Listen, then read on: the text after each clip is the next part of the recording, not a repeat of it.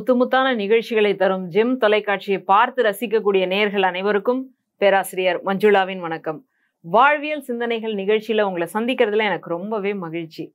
நம்ம எல்லாருக்குமே இந்த தூங்குறவங்கள பார்க்கும்போது சரியான சோம்பேறிடா அப்படின்னு மனசுக்குள்ளே தோணிக்கிட்டே இருக்கும். அதுலேயும் நம்ம மட்டும் வேலை பார்த்துட்டு இருக்கும்போது மற்றவங்களாம் தூங்கிட்டு இருந்தாங்கன்னா அவ்வளோதான் ரொம்ப வெறுப்பாக இருக்கும். தூக்கம் அப்படின்றது ரொம்ப பெரிய வரம். அது நமக்கு நிறைய நேரங்களில் தெரியறதே இல்லை. தூங்காம அவஸ்தைப்படும் போதுதான் அந்த தூக்கம் எவ்வளோ முக்கியமானது அப்படின்றத நம்ம புரிஞ்சுக்கிறோம். அந்த தூக்கம் அப்படின்றது வெறும்னே கண்ணை மூடிட்டு கிடக்கிறதா அப்படின்னு சொன்னா இல்லை. ஒரு நாள் முழுக்க நம்ம பார்த்த அந்த வேலைக்கான ஒரு சின்ன ஆறுதல் ஒரு சின்ன அமைதி. இன்னொன்று கூட இருக்கு. என்ன அப்படின்னா அந்த நாளுக்குள்ள நமக்கு ஏதாவது ஒரு மனப்பதட்டம் ஒரு வேதனை ஒரு கவலை ஒரு அவமானம் எது நடந்திருந்தாலும் அதற்கு வந்து ஒரு வடிகாலா இருக்கிறது தான் தூக்கம். தூக்கமே வராமல் இருந்தது அப்படின்னு சொன்னால் எல்லாருமே தலையை பிச்சுக்கிட்டு அலைய வேண்டியதுதான். அந்த அளவுக்கு மூளை ரொம்ப மோசமான ஒரு நிலைமைக்கு போயிடும். அப்படி இருக்கக்கூடியது தான் தூக்கம். அதனால்தான் ஒருத்தர் வந்து ஒரு சாமியார்கிட்ட கேட்குறாரு சாமி சாமி என் மனசு எப்போ பார்த்தாலும் ஒரே பொங்கிக்கிட்டே இருக்கு. எப்போ பார்த்தாலும் அலைப்பாஞ்சிக்கிட்டே இருக்கு. சரியாக தூக்கமே எனக்கு வர்றதில்ல. அப்படியே முழிச்சிக்கிட்டே உட்காந்துட்டு இருக்கிறேன். காலையில் எழுந்தா சுறுசுறுப்பாகவே இருக்க முடியல. எனக்கு ஏதாவது ஒரு வழி சொல்லுங்க அப்படின்னு கேட்குறான் சாமியார் பார்க்கறாரு யோசிச்சாரு. யோசிச்சுட்டு சொல்கிறாரு இந்த ஊரில் அந்த ஒரு இடத்துல துணியெல்லாம் துவைக்கிறாங்களே அவங்க கிட்ட ஒரு கழுதை இருக்கு இல்லையா அந்த கழுதையை பாரு உனக்கு அமைதி கிடைக்கும். இன்னி கூட நம்ம வந்து ஒன்று வச்சுருக்கோம் என்னை பார் யோகம் வரும் அப்படின்னு. ஒருவேளை சாமியார் அப்படிதான் சொல்கிறாரோ அப்படின்னு நினச்சிக்கிட்டு இவன் போய் பார்க்குறான் ஒரு நாள் முழுக்க பார்க்கணும் அப்போது காலையில் எழுந்து அங்கே போய் உட்காந்துட்டான் உட்காந்ததுக்கப்புறம் அந்த கழுதை என்ன பண்ணுது அப்படின்னு பார்க்குறான் அது பாட்டுக்கு போகுது. அப்புறம் இந்த துணியெல்லாம் துவச்சி முடிச்சுட்டு மறுபடியும் அந்த துணி வெளுக்கக்கூடிய அந்த தொழிலாளி அந்த கழுதையை கூட்டிகிட்டு வரும்போது அப்படியே கூட நடந்து வருது.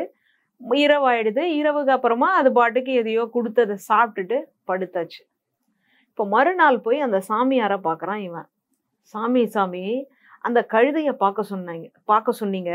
நானும் பார்த்தேன் ஆனால் அந்த கழுதையில் என்ன அமைதி இருக்கு?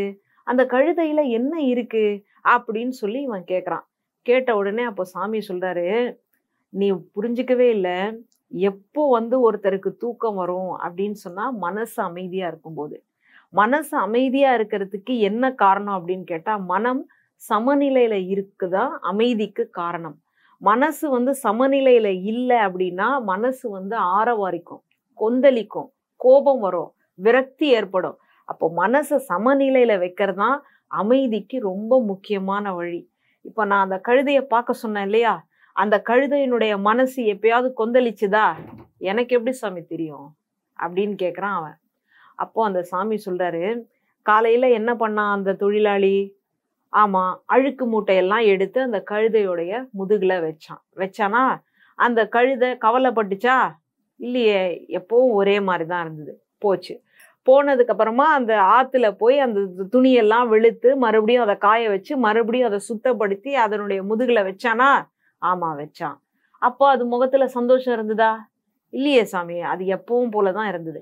திரும்பி வந்து அந்த வீட்டில் விட்டுட்டு அது பாட்டுக்கு சாப்பிட்டுட்டு படுத்துருச்சா? அப்போ ஏதாவது அது முகத்துல ஒரு ஆறுதல் இருந்ததா? இல்ல சாமி ஒரே மாதிரி தான் இருந்தது. இதுதான் நீ கத்துக்க வேண்டிய விஷயம்.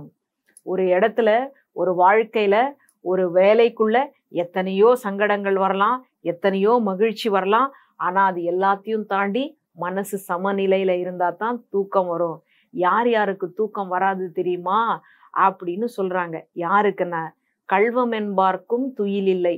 திருடணும் அப்படின்னு நினைச்சவன் எப்படா எல்லாரும் தூங்குவாங்கன்னு நினைச்சு முழிச்சுக்கிட்டே உட்காந்துருக்கானே அவனுக்கு தூக்கம் கிடையாது. காதலி மாட்டு உள்ளம் வைப்பாருக்கும் தூக்க தூக்கம் இல்லை. காதல்ல போய் விழுந்திருக்காங்க இல்லையா அவங்களுக்கும் தூக்கம் அப்படின்றதே கிடையாது. ஒன் பொருள் செய்வம் என்பார்க்கும் துயில் இல்லை. நிறைய பொருள் சேமிக்கணும் சம்பாதிக்கணும்னு நினைக்கிறாங்களே அவங்களும் அந்த வேலைக்கு பின்னாடி ஓடிக்கிட்டே இருப்பாங்களே தவிர தூங்க முடியாது. அதை காட்டிலும் அந்த பொருள்களை எல்லாம் பத்திரப்படுத்தணும்னு நினைக்கிறானே. அவனுக்கும் தூக்கமே வராது. அப்போ தூக்கம் என்பது அமைதியின் பார்ப்பட்டது. ஒரு மனம் அமைதியாக இருப்பது அப்படின்றது.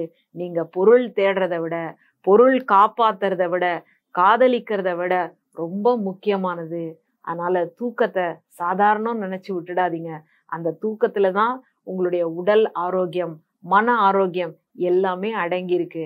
அதனால் இனிமேல் தூக்கத்தின் மேலே கொஞ்சம் கவனம் செலுத்துவோம் அப்படின்னு சொல்லி மீண்டும் வேறொரு சிந்தனையோடு சந்திக்கலாம். நன்றி வணக்கம்.